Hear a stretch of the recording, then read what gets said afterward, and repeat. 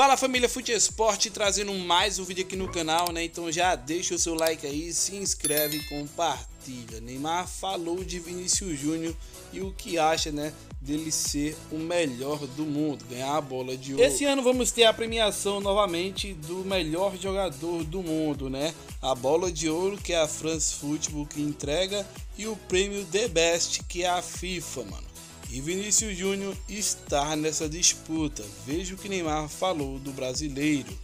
Vinícius Júnior fez uma grande temporada, o Benzema também, pelo que eu vi, mas eu assisti muito pouco futebol.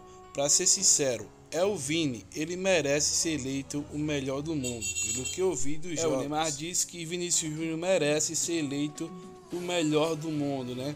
No vídeo que eu fiz aqui um dia antes da final da Champions League, eu disse, o Vinícius Júnior está bem atrás da temporada do que o Benzema, né? O Benzema tem números bem, bem melhores do que o Vini, mas a temporada do Vini foi espetacular.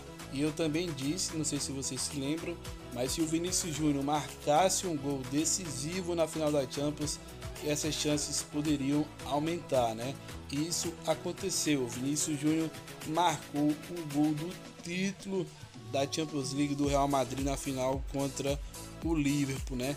Isso deu um potencial a ele enorme para estar tá sendo eleito o melhor do mundo. Claro, é muito difícil pela temporada espetacular que o Benzema fez, né? Artilheiro da Champions League do Campeonato Espanhol, então o cara jogou demais, ele é apontado aí como super favorito para estar conquistando essas premiações.